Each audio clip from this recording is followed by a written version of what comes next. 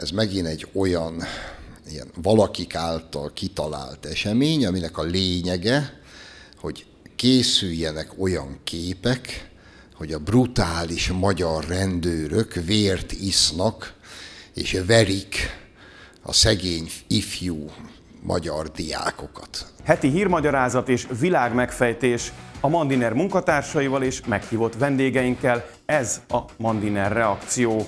Folyamatosan frissülő tartalmainkért kérjük, iratkozzanak fel a csatornánkra. Kezdünk!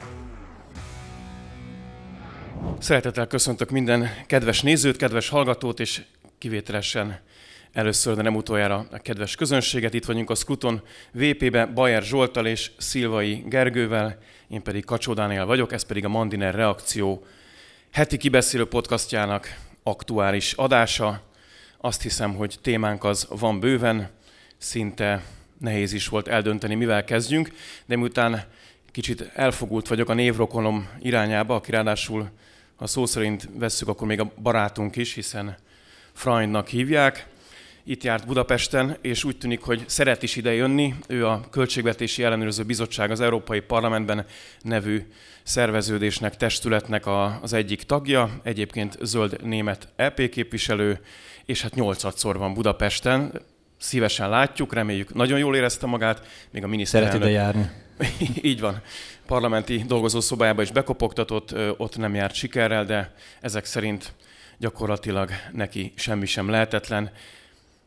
Úgy tenném fel az első bevezető kérdésemet a témával kapcsolatban, hogy nézzük ennek a belpolitikai hatásait. Jó-e az a magyar ellenzéknek, amelynek két tagja, Cseh Katalin és Rónai Sándor is részt vett ebben a parlamenti delegációban. Jó-e nekik politikailag, hogy egy újabb brüsszeli szervezet érkezik Budapestre számon kérő kérdésekkel a kormány felé? Zsolt.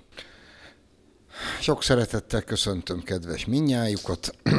Van egy szűk szavú és egy kicsit hosszabb válaszom a feltett kérdésre.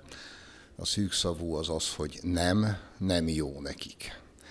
Akkor miért a kicsit, a kicsit hosszabb válaszom, hogy ez, ami szeretve tisztelt ellenzékünk az elmúlt 13 évben nem nagyon tudott bármi olyat kitalálni, ami jó lett volna nekik. Nem sikerül. Van ilyen. Nem megy. Az, hogy idejön Daniel Freund, aki, ha idejön, az pontosan olyan, mint a Tanú című filmben a bírósági tárgyalás. Ha én rajtam múlna, akkor én el is vittem volna Danit erre a filmre, egy zárt körű vetítésre, hogy nézze meg, hiszen ő maga virágelvtárs ebben a történetben, aki megérkezett hóna alatt az ítélettel, pontosan tudja, hogy búvár ruhában merültek alá a Dunába, és onnan hoztuk elő az ürge, bőrbe varrott korrupciós pénzeket. Jön Dani, hülyén vigyorog, hülyeségeket beszél, pofátlankodik, csatlakozik hozzá Cseh Katalin, meg a hű Istenem, hogy hívják ezt a dékást? Rónai Sándor. Rónai Sándor. Az ország népe meg néz, és nem szereti őket. Az ország népének döntő többsége nem szereti őket. Egy ilyen látogatás plusz két-három százalék ide. És hogyha ezen kívül még M plusz egyszer, egy egyszer lebontják a kordont is, az minden egyes alkalommal plusz 4-5 százalék. Úgyhogy hajrá gyerekek, hajrá, hajrá. Kordonbontásról fogunk még külön beszélni. Ja, de, de jó. De, ugyanis nem tudjuk, mikor lesz a következő. Lehet, hogy egyébként mire leadjuk a műsort, addigra már az is bekövetkezik. Azt nem számoltam, hogy hány volt eddig. Gergő, te szívesen láttad-e a bizottságot Budapesten? Vagy Daniel Freundot, de a bizottsággal együtt. Persze, hát szerintem az ország kapu nyitva vannak, bármikor jöjjenek ide és látogassanak meg minket. Szerintem a magyar ellenzék jelenlegi állapotában semmilyen módon nem tudja kihasználni az ilyen látogatásokat, se pozitíve, se negatíve. És hát Daniel Freund viszont egy kicsit feldobja a magyar belpolitikát, ugyanis ugye 2010 óta kevésbé érdekes a magyar belpolitika, kivéve a kampányidőszakokat és a választásokat. Um, így aztán hoz nekünk egy kis sót, amit, amit élvezettel megnézünk és köszönünk neki, hogy nem kell jegyet venni rá. Nekem körülbelül ennyi a véleményem Daniel Freundról, de igazából az egész Európai Parlamentről ez az álláspontom, hogy ugye ilyen vicces gittegylet, aminek nagyobb a, um, nagyobb a média impaktja, mint mondjuk az Európai Unió tanácsának, ahol a valódi súly, súlyos döntések születnek, mivel az Európai Parlament egy ilyen nagy aréna, amiben van kamerázva és közvetítik, aki akarja nézheti, újságírók beszámolnak róla. Az Európai Tanács, ahol meg ugye a tagállamok vezetői ülnek és a valódi döntéseket meghozzák, az pedig mindezeket zárt ajtók mögött tárgyalja le, de a valódi döntések ott születnek, az Európai Parlament maximum pszichológiai nyomást tud gyakorolni a bizottságra, meg a, meg a tanácsra, ami néha sikerül, néha nem. Én biztatnám ezeket a szervezeteket, nem mintha érdekelni őket, hogy mire biztatom őket, hogy álljanak ellent az Európai Parlament pszichológiai nyomásának, de egyébként a, az Európai Parlament szerintem körülbelül ugyanolyan komolytalan minden ilyen Freund. És nincs semmi abban, a amit mondanak? Is. Hogy? Nincs semmi abban, amit mondanak. Szokás felhozni a az úgynevezett elszigetelődéssel kapcsolatban, hogy hát olyanok vagyunk, mint a viccben, már mint a magyar kormány. A viccben az autó, amelyik szembe megy az autópályán, és mégis azt gondolja, hogy ő megy a jó irányba.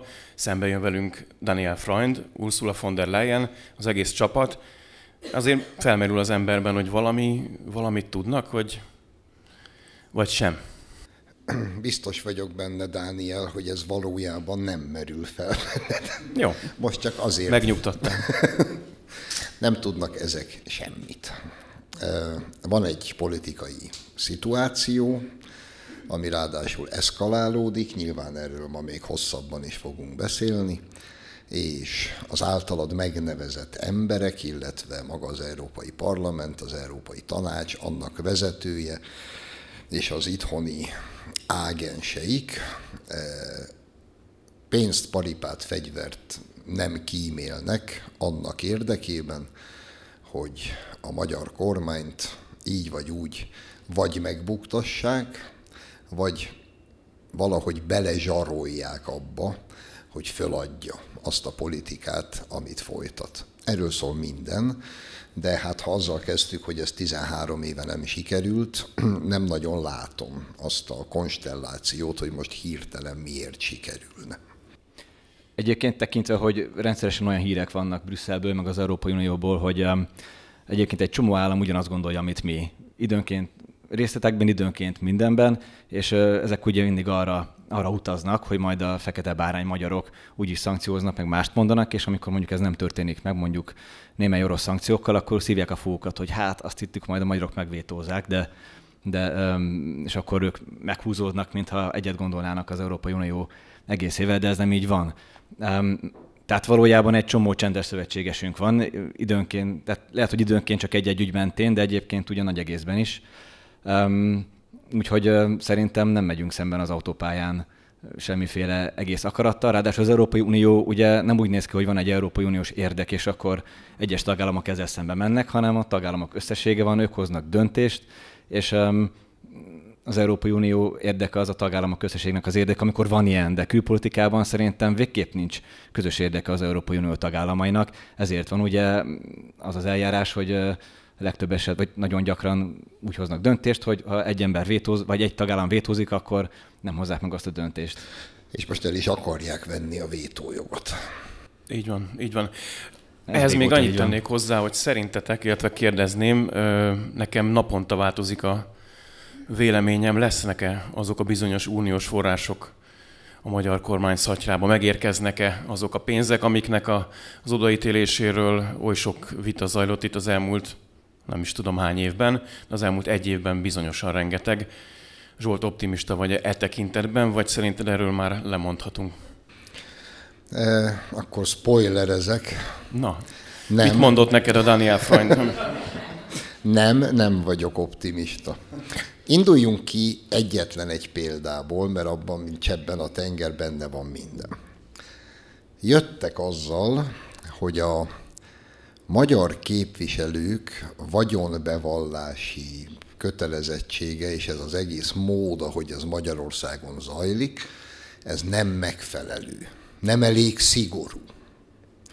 Ekkor mi, mint a óvónéni a kisegítőbe, mondtuk, hogy jó rendben van, elővettük az Európai Parlament képviselőire vonatkozó vagyonbevallási szabályzatot, és betűről betűre lefordítottuk, a kormány benyújtotta, a parlament elfogadta, és életbe lépett Magyarországon az Európai Unió parlamentjének vagyonbevallási szabályzat. Ez az a szabály, ami szerint Eva Kylie is bevallotta vagyonát, Igen. ugye? Csak hogy tisztázzuk. Igen.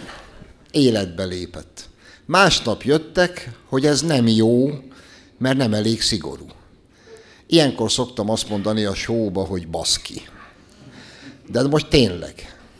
És, és akkor, Hallottuk a sípot is. akkor, akkor visszafordítjuk, akkor bevezetünk valami harmadikat, de természetesen az se jó. Szóval Az Én azt nem az értem. Európai Parlament csinálja, másikon pedig az Európai Bizottság háborodik föl. De, de fi- figyelj, hát ez, aki még nem vette eddig észre, hogy az egész arról szól, hogy húzzák az időt, és nekem van is egy feltevésem, hogy ez meddig fog zajlani. Ez addig fog zajlani, míg nem leszünk túl a lengyelországi választásokon. Az most a lakmuszpapír, ott tesztelik, hogy uniós pénzek megvonásával meg lehet-e buktatni a nekik nem tetsző kormányt. Ha igen, akkor végképp nem fogják odaadni. Ha győz Lengyelországban, győznek Kaczynszkijék, és azt látják, hogy nem, nem lehet kormányt buktatni, akkor meg azért nem fogják odaadni, mert akkor meg minek. Szóval emberek, senkinek ne legyenek illúziói, mi nem, mi nem felelős politikai aktorokkal vitázunk, hanem ilyen dróton rángatott, ócska képességtelen alakokkal, akik, eh, akik szemétkednek velünk. Ennyi. És hihetetlenül csodálom a magyar kormány meg a EP képviselőink végtelen türelmét.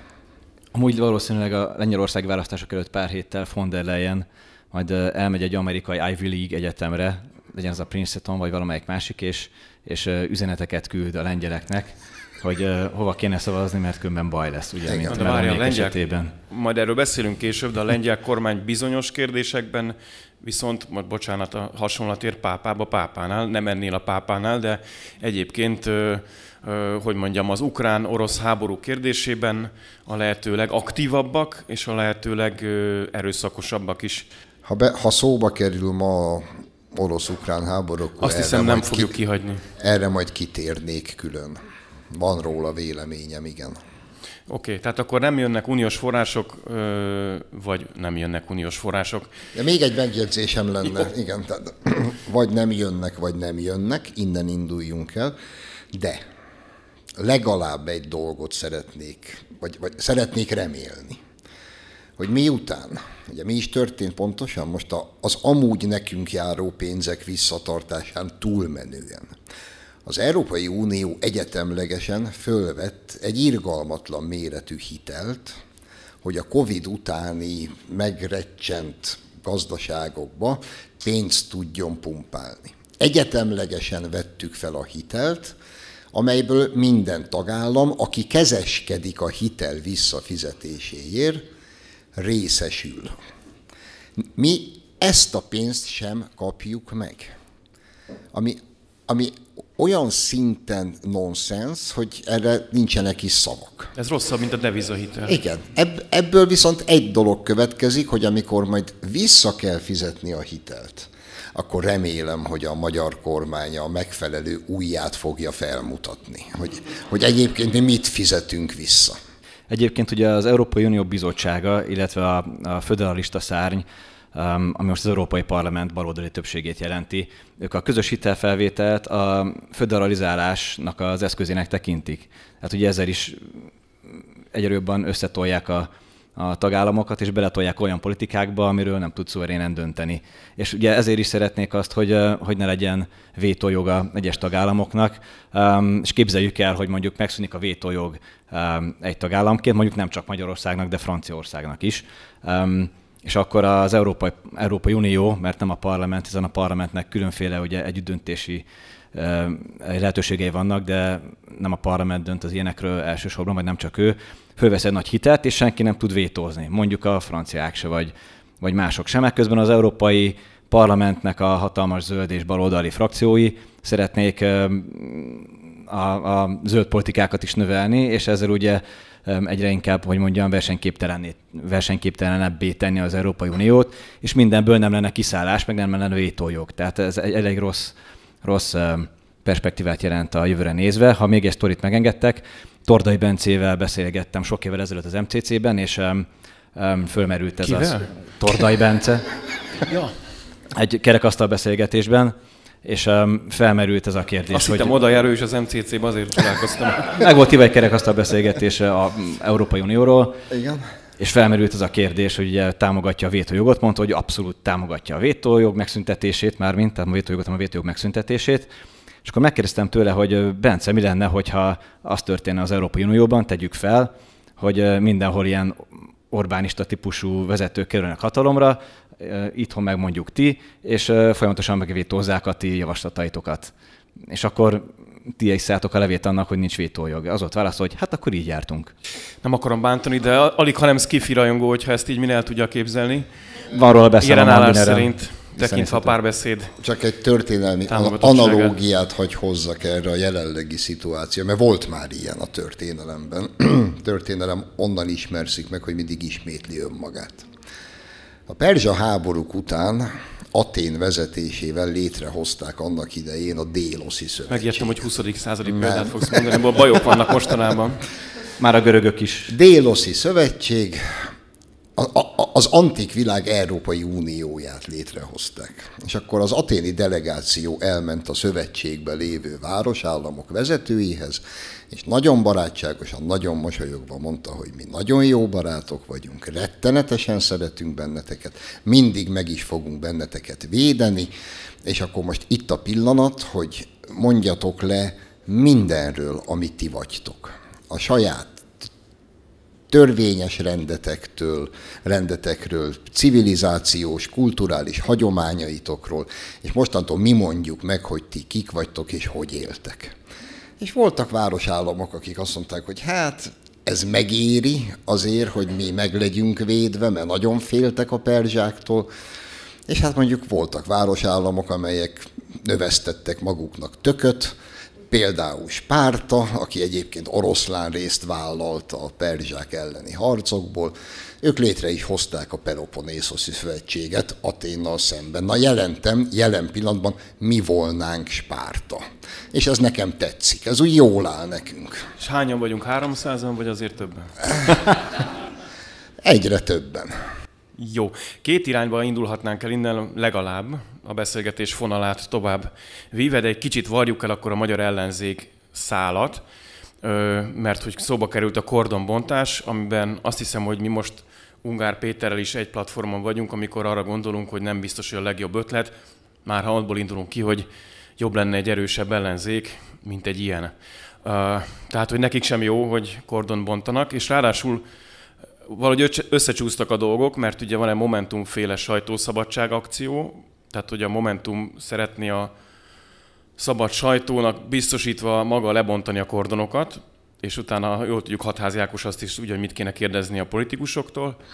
és aztán van Pankotai Lili és a Diák Front, amelyik ö, ugyanott, majdnem ugyanúgy ö, tüntetett, és lehet, hogy még fog tüntetni a Karmelitánál, ez pedig ugye a tanári béremelés és a szabadabb oktatás, hogyha jól foglalom össze, bár ugye hét kérdés volt, amiben az egyik, hogy Pintér Sándor alkotmányban rögzített módon ne lehessen soha többet miniszter, sőt most se, de azt hiszem, hogy ez nem fog átmenni a választási bizottságon, úgyhogy maradhat.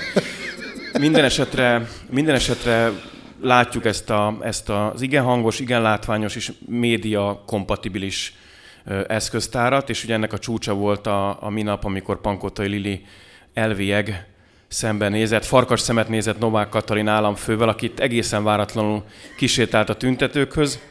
Leereszkedett, ugye? Igen, igen, propagandisztikus módon, ahogy nem azt tudom, hogy, hogy de egy köztársaság az egyik tanár. Nem leereszkedve oda menni, vagy nem tudom, hogy... Tehát, hogy...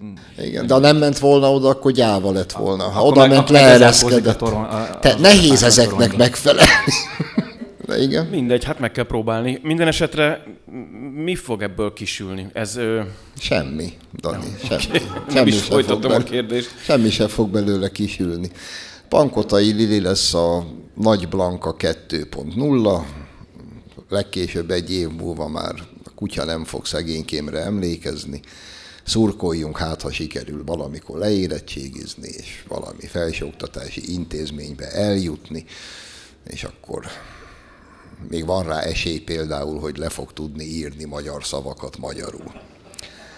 Ez Nem ő volt, nem ő volt. Ezt nem ő volt, tudom, igen. Szabotás. Szabot, szabotás. Az, Valami barátja, aki fújta el. az évezred szabotás akciója zajlott Pankotai Lili ellen, mert valaki rosszul írta rá a trikójára, hogy elvileg. Na mindegy. Mi is volt a kérdés? Szóval... Ja, édes jó Istenem. Legyen egy, lenne egy alkérdésem. Ez- Nekem- nekem van három gondolatom ehhez. Van egy, valóban egy generáció dühe jelent meg a Kármelita előtt. Erről írtam egy kolumnás cikket a Nemzetbe. Én sose voltam jó matekból, tehát nem véletlen, hogy magyar történelem szakra jártam, és nem matek fizikára, de azért nagy nehezen kiszámoltam, hogy a KSH vona, az életkorban, mondjuk én 16-tól 25-ig néztem meg, azt hiszem a magyarországi népességet, ez nagyjából olyan 700-750 ezer ember, és olyan 200-an voltak ott a Karmelita előtt, Lili mögött, akkor ez azt jelenti, hogy 0,03333 tendál a végtelenhez százalék. Na most, ha ez egy generáció, akkor nagy baj van. De ez nem egy Ők, generáció. volt, ők voltak a szóvivő. Ők voltak a szóvivők, ez is lehet. Ha megpróbálom az egészet komolyan venni, akkor a véleményem szerint ez megint egy olyan ilyen valakik által kitalált esemény, aminek a lényege, hogy készüljenek olyan képek, hogy a brutális magyar rendőrök vért isznak, és verik a szegény ifjú magyar diákokat. Föl akarnak építeni egy 2006-ot, de hát azért lássuk be, Tesco gazdaságos. igen, tehát tesz, egy Tesco gazdaságos, fékezett habzású 2006-ot igyekeznek összeácsolni, ami azon a kicsi, nyomorult és büdös buborékon kívül, ahol ők léteznek, azon kívül nem működik. Hát most, de most komolyan, tehát Bódvalenkétől Nemes Medvesig. Önök szerint hány ember van, aki azt mondja, hogy ej tényleg a szemét Orbán, a szemét rendőreivel bucira vereti a szegény magyar ifjúságot? Ezt ők hiszik, ők írják. De ez meg kit érdekel? Azért készült néhány, hogy Schiffer András mondta, kurva erős kép, a, a, amin van könygáz, látszik egy gumibot is, ez mennyire hat, hogy nem, nem jól teszem fel a kérdést, hogy hatott-e meg benneteket, de azért ebben, ebben azért feltételezem, hogy néhány magyar fiatalban összeszorul valami, hogy lát egy ilyen képet. Hát figyelj, az elejére visszatérve ugye egyrészt, amíg kordon bontanak, addig se csinálnak más bajt, szerintem. Másrészt ez a kordonbontos, de a Kármelitánál legalábbis azért sem sül el jól, mert um, nézd meg a Downing Street 10-et, be lehet oda menni, interjút csinálni a brit miniszterelnökkel? Nem. Le van De jó, de próbáltad? Nem, de hát le van zárva, tehát ezt, ezt nem kell oda menni, hogy ezt tudjuk. Nem nagyon van olyan miniszterelnöki rezidencia, ahol a bejárathoz tudsz menni interjút csinálni bárkivel is. Hát ott megállnak az autók, bemennek, és a miniszter megállott az ajtó előtt úgy, hogy már egy zárt téren van.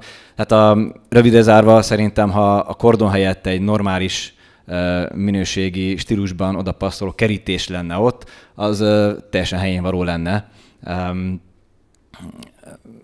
A, a dolgot ezzel lehetne zárni. Másrészt sajtószabadság. Ugye a, állandóan hallom azt a kifogást, hogy azért van Magyarországon többek között azért nincsen többek között sajtószabadság, vagy azért csorbul, mert a miniszterelnök és mások nem adnak interjút, legyen az a Karmelita, vagy az Istenhegyi Kápolna, vagy bármi más a helyszín, nem adnak interjút bizonyos lapoknak. Na most a, az a sajtószabadságnak, a, vagy a te szólásszabadságodnak a csökkenés, hogy valaki nem nyilatkozik neked, akármilyen tudom, rossz érzést is kelt, akkor az szerintem ez két külön dolog, hogy ki nyilatkozik kinek, meg, meg sajtószabadság. Um, harmadrészt pedig a, a könyvgáz tekintetében ugye sajnos ilyen tekintetben már lassan boomernek számítok, mert 2006-ban ott voltam. Én is. Kicsit más Letto. volt a buli. És ugye ott nem az volt, hogy egy rendőr kétségbeesésében jogga jogtalanul dönts el, akinek ez, ez a, a kompetenciája, lefúj néhány fiatalt egy, egy könygázzal, ami egy spréből, hanem ott szisztematikusan sok ideig lőtték a könygáz egyébként nem is csak láb alatt, hanem felfelett is, meg felmagasságban. Meg a, meg a gumilövedéket, meg lovas Minden egyebet. Egy idő után tubus helyett már, már ugye porcelán tubusból lőtték, szóval az nem ugyanaz volt, mint ez. Ezzel együtt tényes való, hogy rohadt kellemetlen a könyvgáz, én is kaptam akkor, meg rohadt kellemetlen reggel négyig ülni egy rendőrösön, de azért túl lehet élni. Csak hogy rögzítsük, mert nagyon igaza van tanult kollégámnak. Szóval, ugye, mi is a bajuk, hogy ott a kordon.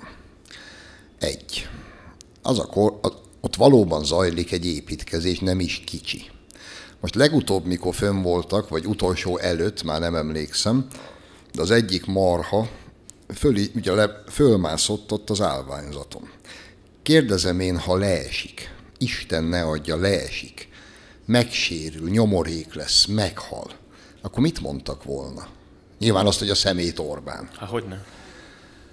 Kettő. Nem védték meg a biztonsági őrök. Kettő. Javasolnám ezeknek a nagyon bátor legényeknek, hogy tényleg tegyenek már egy kísérletet, ugorjanak már ki a Downing Streetre, azt próbálják meg lebontani a brit miniszterelnök rezidenciája körüli kordont. Csak próbaképpen. De hogyha ez nem elég kihívás, akkor a Fehérházba, hogyha esetleg megpróbálnának így behatolni buliból, vagy az Elizé palotába. De ha nincs pénzük ilyen nagy útra, akkor ugorjanak már ki a szabadságtér, azt kukkantsák meg, hogy néz ki az amerikai nagykövetség, azt oda próbáljanak bemenni. Egyszer csak úgy, ahogy megpróbálnak bemenni a karmelitába. Hát izgi világ lenne. Hát abból egy komoly akciófilmet lehetne forgatni. Egy utolsó kérdés még a témában. Gyurcsány Ferenc, aki szerint törvénytelen a magyar kormány, a kérdés költői lesz, miért nem áll ott a barikádon? Hát ő, ő mondja a legerősebbet, és ő marad a hát- legnagyobb csöndben, amikor egy ilyen Mert reggel kormánydöntés van? Reggel hatkor kéne oda menni, hogy a Feri még oda tudjon állni, valószínűleg azért. Köszönjük, hogy nem perképesen fogalmaztad meg, amit mondani akartál, ezért igen, az egész igyekeztem redakció nevében állás vagyok. Igen. Ennyi? Ennyi. De akkor mit csinál Feri, és akkor utána megyünk tovább Ursula von der Leyen és Zelenszky Gergő, irányába. mit csinál Feri? Tudom, beszél a parlamentben. hát ő a Gyere, Feri, én megmondom, mit csinál Feri. Feri ma az ellenzék vezetője. A legerősebb ellenzéki pártot vezeti. Feri ma, és ennél nagyobb tragédiája ennek az ellenzéknek nem is nagyon lehetne. Feri ma a boss. Ő a főnök emberek. És ameddig ez így lesz, hát addig mi té- nekünk tényleg csak egy kávét kell kérni. Úgyhogy a jó Isten éltesse a mi Ferinket az emberi életkor legvégső határáig. Ezt tudom javasolni. Mert a kávékat nem megkaptuk. igen, igen, igen. Ő nagy tapsot Gyurcsány Ferencnek. Összegezve az eddig elhangzottakat, ha Brüsszelből vegzatúra és megfékezett uniós források hangja hallatszik jó a Fidesznek, Magyarországon Gyurcsány Ferenc az ellenzék vezére jó a Fidesznek, mi árthat még a jelenlegi kormánynak. Beszélgessünk akkor a háborúról. Ugye az elmúlt időszakban kicsit, minthogyha a korábbinál is feszültebb lenne az ukrán-magyar viszony. Ugye itt azért van egy hullámzás, volt egy erős indítás még a háború előtt, amikor a kárpátai magyarság, illetve a magyar oktatást érintően hozott az ukrán állam bizonyos szabály, korlátozó intézkedéseket. Ez mondhatni egy ilyen szomorú alapozás volt, a tragikus orosz agressziót követően is nyilván ennek voltak hatásai, de amit most látunk, hogy OTP a, a tiltólistán, aztán halljuk, hogy Zelenszky bár utólag cáfolta, de azért nem akár hol jelent meg az információ, felrobbantotta volna a barátság kőolajvezetéket, majd most már arról érkeznek hírek, hogy ha nem is felrobbantani, de leállítani lesz lehetőség akár uniós jóvágyással is a barátság kőolajvezetéket, ami, hogy mondjam, nem hiszem, hogy abban az irányba tart, hogy az éppen, éppen megtámadás alatt álló, valóban kegyetlen harcokkal szembenéző Ukrajnának könnyebb lenne a magyar támogatást megszerezni, ami egyébként, és akkor átadom a szót, azért olyan formában igenis megvan, hogy egy komoly humanitárius akcióban segítjük a hozzánk menekülőket, és hát egyébként megszavazunk minden közös döntést az Európai Unióban ezzel kapcsolatban. Lehet, hogy most értünk ennek a sorozatnak a végére. Mit ö, olvastok ki ti ezekből, mi lesz ebből? Gergő? Az optimizmus elfogy. Eponnál? Én nem vagyok, egy, nem vagyok optimista ebben a történetben, se én egy pessimista alkat vagyok, de a jóslást nem tanultam ki, az, az, a, az a szak kimaradt, úgyhogy nem tudom, Delfolyhoz kell fordulni. Megint a görögök. Igen. Picit hagyd legyek hosszabb, jó? Hagy kezdjem el a KH-tól. Valamiért, ez lehet, hogy majd egyszer eljön az idő, mikor megtudjuk a valódi okokat, Valamiért az Egyesült Államok egy szép napon azt álmodta meg, hogy Ukrajnát és az egész Fekete-tengert azt amerikai, vagy ha úgy tetszik, NATO érdekszférává fogja tenni. És rettenetesen csodálkoztak, hogy az oroszoknak ez nem tetszik.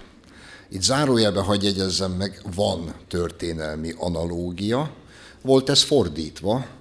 63-ban a hülye Hruscsov álmodta meg, hogy majd jó telerakja Kubát frankó szovjet fegyverekkel, köztük nyilván közepes, meg nagy hatótávolság, meg Isten ne adja atomfegyverekkel, és akkor a történelmi igazság az Egyesült Államoknál volt, amikor John Fitzgerald Kennedy elnök azt mondta, hogy meg lehet ezzel próbálkozni, de akkor ki fog törni a harmadik világháború.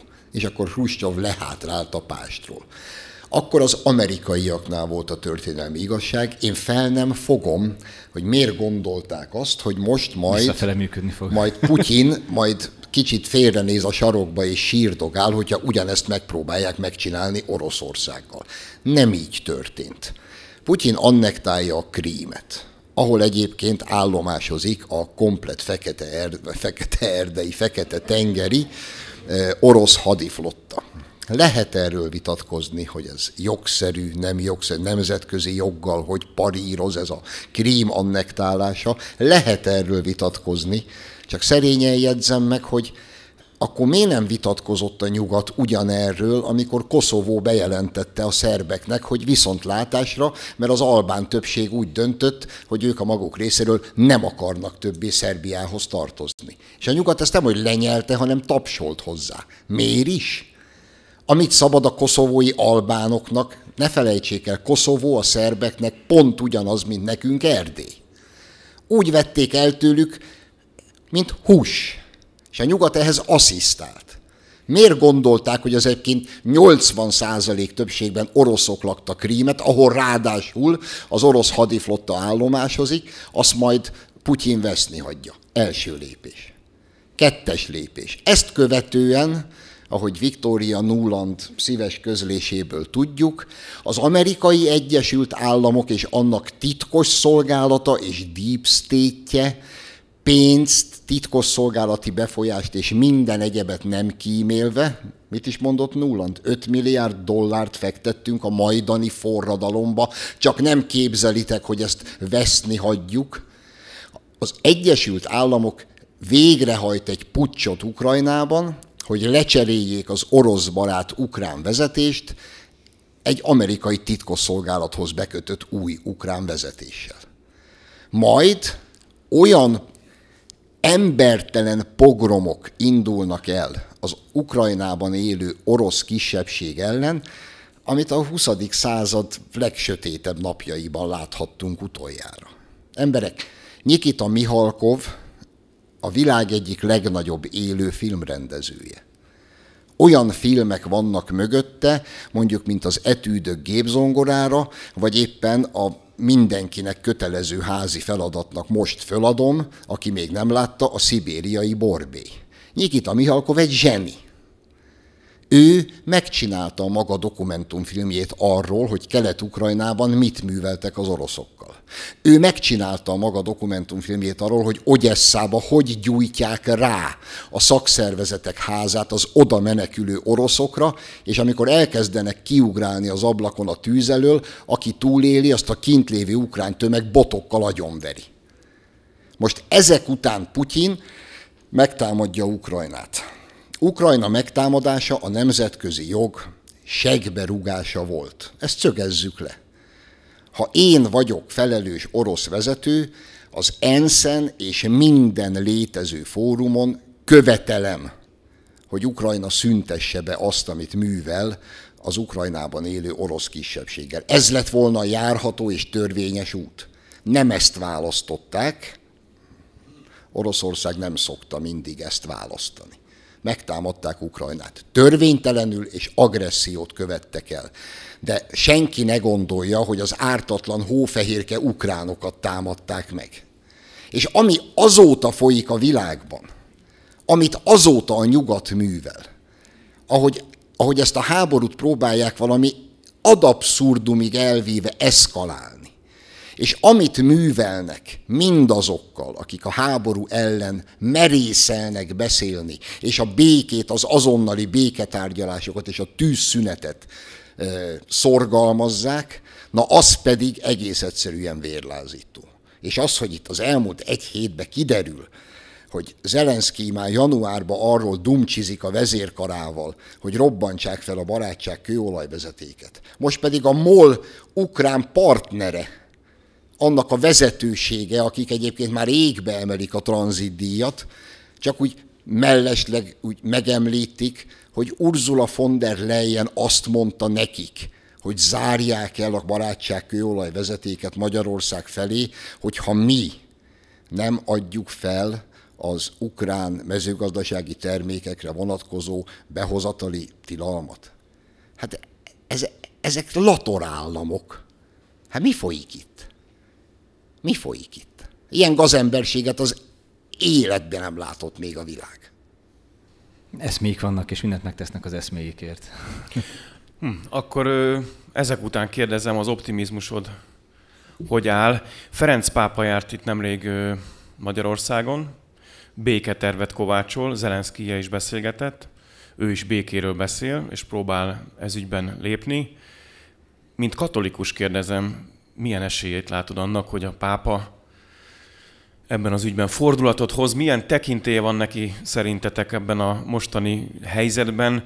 Ha ő mondja, az ő hangja mélyebb, vagy, vagy nem számít semmit, mert el van a Vatikánban, úgyis Washington, Brüsszel, Berlin, e helyeken dőlnek el a dolgok. Igen, én azt gondolom, hogy nyilvánvaló, hogy nem Vatikán fogja a békét elhozni, ettől függetlenül nagyon fontos az, hogy a pápa ezügyben mit mond. De ha van bennem optimizmus, mert egyébként muszáj, hogy legyen, mert különben az ember miért kelne föl reggel, ha van bennem optimizmus, az, azt igazából egyetlen egy dolog táplálja. Az, hogy Oroszország is, és az Egyesült Államok is atom nagyhatalom és eddig legalábbis a történelemben, még a szakadék szélén, lást 63, mindig felül tudott kerekedni a józanész minden fél részéről, mert mindegyik tudja, hogy kölcsönösen el fogják pusztítani egymást. Nekem ez az egyetlen optimizmusom. Mert egyébként amit ma a nyugat politikaként próbál eladni, az az, az elmebajnak, meg a gazemberségnek valami csimborasszója. Oroszország agresszor, igen. Oroszországot el kell ítélni, igen. Oroszország megszegte a nemzetközi jogot, igen. Ez mind igaz. De egyikből sem következik az, amit ma a nyugat megpróbál képviselni és eladni. És remélem, hogy az utolsó előtti pillanatban azért nekik is eszükbe fog jutni, hogy meg lehet próbálkozni Oroszországot eltörölni a föld színéről. Mert egyébként ez a szegény öreg bácsi, aki már nem nagyon tudja, hogy hol van, aki ma az Egyesült Államok elnöke, és ez mindent el is mond az Egyesült Államok összes létező állapotáról, hogy Biden az elnök. Ez a szegény öreg bácsi nem magától, hanem a mögötte álló Deep State-től vezérelve, ahogy mondani szokták, képes lenne az utolsó ukránig harcolni. És mivel az ukrán elnök oda van bekötve, ezért az ukrán elnök is képes lesz ugyanerre. Aztán majd, hogyha nagyon rosszra fordul a dolog, akkor Zelenszky lesz az első, aki majd távozik nyugatra, beül a gyönyörű hatalmas villájába, amit most egyébként orosz oligarchák bérelnek tőle, zárójel bezárva, és akkor majd onnan fog ugatni, mert bátor-bátor az Zelenszky, de nem vakmerő az ő bátorsága annyiban merül ki, hogy akár a pápához megy, akár az amerikai elnökhöz, mindig katona ruhában van, keki színű cuccban van. Mert ő, ennyi az ő bátorsága. Egyéb, egyébként érdekes, hogy a nemzetközi baloldal, ugye a, a hidegháború idején, vagy mondjuk úgy, hogy a második világháború befejezésétől kezdve mindig háború ellenes volt, meg NATO ellenes, um, gondoljunk a vietnámi háborúra, meg a, meg a békepártiságra, és ugye függően attól, hogy ki a, ki a, hogy milyen szerző a baloldal mérsékelte, vagy erősebb radikális a frakciójához tartozott, mentegették a Szovjetuniót kicsit vagy nagyon.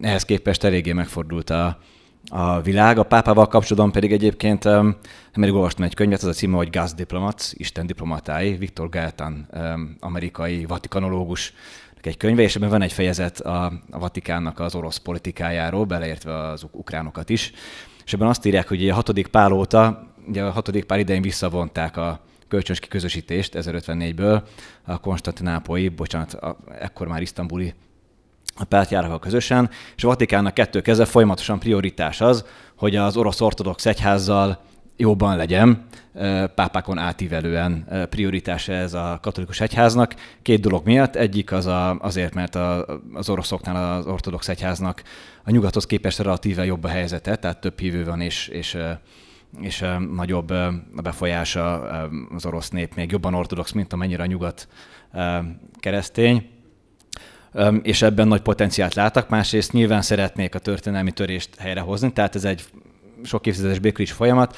Harmadrészt pedig a közel-keletem, ugye sok a keresztény ott a, a abban a hatalmas káoszban, ami a közel-keleten van, és közel-keleten úgy néznek ki a felekezetek, hogy minden felekezetnek van egy, amelyik nem protestáns, annak van egy ortodox, meg egy pápista verziója, tehát van, van nem tudom, Maronita egyháznak van ortodox maronita, meg pápista maronita, és így, és nyilván ezen a fronton az oroszok és a Vatikán, vagy a Szentszék pontosabban egymásra talált a, a keresztények védelmében, és többek között ezért is van az, hogy a, a Vatikán nem hajlandó egyértelműen orosz ellenes retorikát alkalmazni, egyébként pedig Gáltan azt írja, hogy, a, hogy Ferenc pápa ugyan, ugyanolyan rossznak látja mind az amerikai, mind az orosz nevezük imperializmusnak, tehát terjesztési kényszert, és az amerikaiat sem látja jobbnak, mint a, az oroszokét. Van még egy megjegyzésem, hogy van egy nagyon érdekes megjegyzés ebben a könyvben. Egy 2015 környékén egy, egy ukrajnai amerikai diplomata, tehát Ukrajnában szolgáló amerikai diplomata azt nyilatkozta a Gáltánnak, hogy, hogy ne gondolja senki, amerikai, az amerikai újságírónak, ne gondolja senki, hogy az ukránoknál olyan együntetően mindenki EU, meg NATO, meg stb. párti. Nem tudom, hogy azóta ez mennyire változott, mert nyilván azóta durvult a helyzet, diplomatikusan fogalmazva, de 2015-ben ezt egy amerikai diplomata kimondta egy amerikai újságírónak. Úgyhogy bonyolultabb a helyzet, mint Hollandok, hollandok se voltak túl szívések az ukránokkal még a háború előtt, de ez egy bonyolult történet. Hadd kérdezek valami személyeset, katolikusként könnyebb ezt a helyzetet értelmezni? Vagy sem, Zsolt? Mert ugye nemrég kapta fel a sajtó, oh, hogy katolizáltál. Drága, hát igen, katol, az jó, hogy főkapta a sajtó, mert ö- öt évvel ezelőtt katolizáltam. De ideje volt, hogy főkapja Akkor a megint sajtó. fölkapta. Azt kapták föl, ugye, hogy nyolc évvel, nyolc évvel ezelőtt csúnyákat mondtam a pápáról. Ugyan? Szeg, drága, sem, drága Semjén Zsolt barátom mondta, amikor a pápa látogatás előtti sajtótájékoztatót tartotta, és az ott megjelent szeretve tisztelt újságírók mindenről kérdeztek, ami rólam szól. A pápáról egy hang nem hangzott el. Mondta is, hogy akkor mostantól én vagyok Bajer Zsolt szóvivője. A katolizálásomnak semmi köze egyébként a, az aktuál politikához. Ez egy, én egyetlen egy, nálam az egész család katolikus.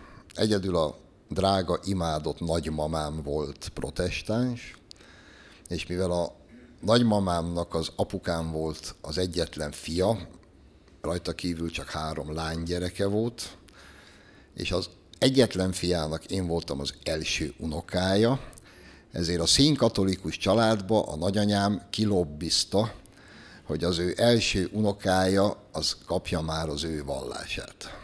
És én mióta az eszemet tudom, katolikus akartam lenni, de amíg a drága nagymamám élt, 98 évet, hála jó Istennek, meg se fordult a fejembe, hogy én ezt vele megtegyem. Aztán mikor távozott, akkor végül is úgy döntöttem, hogy akkor én eh, katolikus vallásra térek, és egyébként Semjén Zsolt volt az én vérma kereszt apukám ebben az ügyben, akivel 14 éves korunk óta, vagyis 1977 óta vagyunk a legjobb barátok, és ülünk, ültünk egymás mellett a gimnázium padjában. Külön szoktam szeretni, mikor a lipsi sajtó a semjént, mint ilyen álkeresztény, meg igen. Semjén Zsolt 1977-ben már egy katolikus, szűk, de nagyon komoly vallási szervezetnek volt a tagja. Minden vasárnap a Margit körúti, akkor már nem emlékszem, hogy hogy hív, Mártirok útja, Mártirok úti templomba járt, tehát ő már akkor templomjáró, hitvalló ember volt, amikor a mai ballépsi sajtó munkatársai még a csattogós lepkét sem tologatták, de természetesen most megírják, hogy az én semmilyen barátom álkeresztény, anyátok az az álkeresztény. És, és ez az egész, e, e, ha már most itt rákérdeztél, ennyit talán így magánéletileg kiteregethetek, hogy miért lettem én katolikus. És katolikusként nyilvánvaló, mivel katolikusként én elfogadom, nem is tehetnék mást, a római pápa, a mindenkori római pápa főségét és iránymutatását minden vallási kérdésben, nyilvánvaló, hogy mondjuk olyan módon, mint hogy ezt protestánsként akkor megtehettem, nem fogok, Sőt, már azt is bánom, hogy akkor ennyire durva voltam, mert ezt le, elmondhattam volna szebben is. Mondhatta volna szebben kis lovag, hogy ide idézzem Sziránót. E, szóval bánom, de ez most már mindegy, a jelenlegi helyzet más, arról nem is beszélve, hogy szerintem rengeteget, most, most megint a politikáról beszélek, Ferenc pápa nagyon sok politikai kérdésben nyilvánult meg. Politikai kérdésekben, ha megnyilvánul a pápa, azzal még katolikusként sem kell egyébként feltétlenül egyet értenem, hiszen ő hitbéli kérdésekben az én megkérdőjelezhetetlen iránymutatóm. Politikai kérdésekben nem. De ahogy most politikai kérdésekben Ferenc pápa megnyilvánul, az nagyjából 90%-ban egyezik azzal, amit én gondolok. És amikor itt, most itt járt, akkor például elmondta a köztársasági elnöki hivatalban az első beszédét, ahol példának okája, ezt valamiért annyira nem idézték a ballépsi sajtóban, mikor azt mondta, hogy az nem tudom már pontosan, hogy Ötször megdicsérte az alkotmány, vagy öt ponton megdicsérte az alkotmányt. Egyrészt, másrészt azt mondta, hogy a teljesen felesleges és csak veszteségekhez vezető mindenek feletti abortusz pártiság és az abortuszhoz való jog az elítélendő. Miképpen azt is mondta, hogy az az ideológiai terror, amit a, például a gender kultúra, vagy nem tudom, hogy a bánatban nevezzem ezt, majd művel, az is elítélendő, ez valamiért nem, nem ugrott fel ez a két mondat sem a 444, sem a Telex címlapjára. A politikóira se, de... hát remélem, hogy ma szolgáltunk néhány olyannal, ami esetleg felugorhat olyan mondattal. Minden esetre ennyi volt most a szabott időnk a Mandiner heti reakció podcastja tekintetében Bajer Zsoltnak nagyon köszönjük, hogy itt volt velünk a nézőknek, hallgatóknak és a közönségnek pedig a figyelmet. Köszönjük! Ha tetszett a videónk, iratkozzanak fel a csatornánkra, és kövessék a Mandinert minden lehetséges fórumon.